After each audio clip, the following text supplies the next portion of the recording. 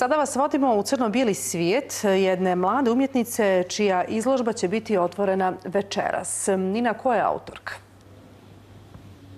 Pa autorka je Katica Nišavić. Dakle, večeras u 19 sati ovdje u holu Kica bit će otvorena izložba pod nazivom Svijet u meni i oko mene kroz otvorenu blendu.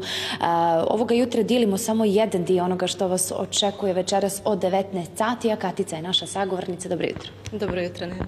Pa evo, možemo da zavirimo u vaš crno-bijeli svijet. Kakav je to vaš svijet i šta vas inspirisalo da pokrenete jednu ovakvu izložbu? Pa ovaj, ova izložba i ove fotografije koje će biti prikazane su u suštini nekako inspirisane svim tim putovanjima. Tako da obuhvataju više nekih država i više različitih vremenskih perioda i nekako iskustava koje sam ja prošla tokom recimo proteklih 5 do 6 godina i nekako se ta inspiracija javljala tokom, nekako na cijelom tom putu da kažem i došao je konačno je to moment da se taj koncept osmisli i da prosto ljudi mogu da vide da dođu pogledaju fotografije i da nekako makar dijelom uh, osjete tu neku emociju ili to stanje koje želim da prikažem. Svaka fotografija ima i određenu priču i naziv, je li tako? Šta ste željeli uh, da poručite, šta želite možda o čemu i da razmisle svi oni koji će doći pogledati ovu izložbu?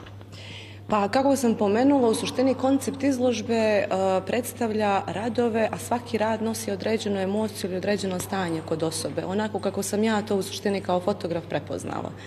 I samim tim ovaj, radovi će biti imenovani upravo po tim emocijama ili stanjima.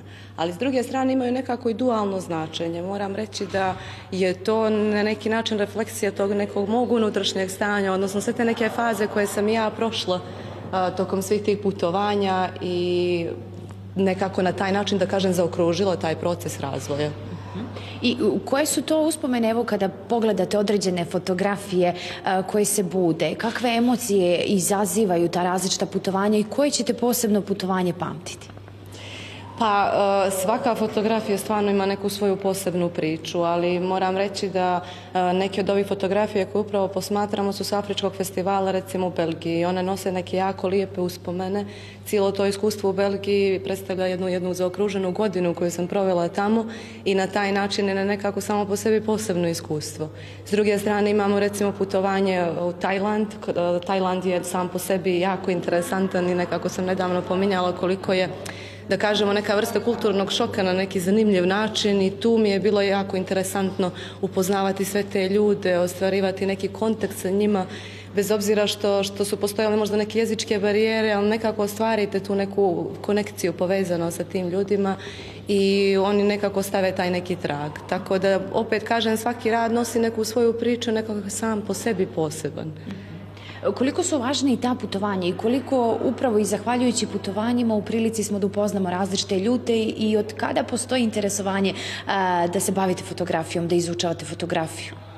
Fotografijom se bavim nekako već više od deset godina, dakle to je jako davno krenulo, još od nekih ranijih srednjoškolskih dana i ta ljubav se izrazvijala iz godine u godinu, bez obzira na to što sam ja nekako diplomirala na Fakultetu političkih nauka, što zaista nema uske veze nikako sa fotografijom, ali nikad nisam htjela da je zapostavim, jer nekako sam uvijek radila na sebi, razvijala neke nove vještine i uporedo sa tim razvijala i tu ljubav prema putovanjima. Tako da i ta putovanja su nekako krenula jako davno i moram reći da je to nešto što me onako mnogome opisuje ili definiše.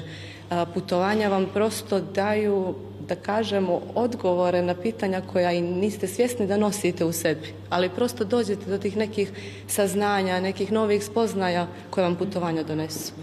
Koliko vam je onda, budući da je ovo prva vaša izložba, ili tako ispravite me ukoliko grišim, koliko vam je bilo e, teško, izazovno e, doći do izložbe, doći do prostora, organizovati sve? Nije bilo ni teško ni lako. Moram reći što se tiče, uh, ja sam jako zahvalna Kulturno-informativnom centru Budo Tomović upravo na ustupanju prostora i samoj pomoći tokom organizacije izložbe. tu je nekako moj rad bio u startu prepoznat i dobila sam da kažem zeleno svjetlo, tako da u tom dijelu je nekako išlo onako lijepo i lagano i jako mi je drago kad neko već u početku prepozna moj rad i onako ustupi prostor za izlaganje. Drugi organizacijani dio uvijek nama nekako manje zanimljivo pada i jeste jedan proces koji traje, ali ja nekako i tome uživam jer e, upravo zbog toga se radujem ovaj, ovoj večeri gdje ćemo svi zajedno nekako da proslavimo taj moj uspjeh i da uživamo u tom ambijentu. Tako da jeste to proces koji zahtijeva dosta nekih, dosta jaku organizaciju, ali nije toliko, da kažem, ni teško. I do kada se izložba može pogledati? Izložba se može pogledati do 16. marta. Dakle, večeras, kako smo rekli, 19 časova je zvanično otvaranje, a onda traje još 10 dana do 16. marta. Hvala najljepša Katice na izdvojnom vremenu. Hvala vama na pozivu. Pratit ćemo naravno i dalje vaš rad. Dakle, dragi gledalci, večeras u 19 sati ovdje u holu Kice Budu Tomović otvara se izložba naše sagovornice Katice Nišević, a možete je pogledati sve do 16. marta. Toliko za ovo jutro od ekipe sa terena.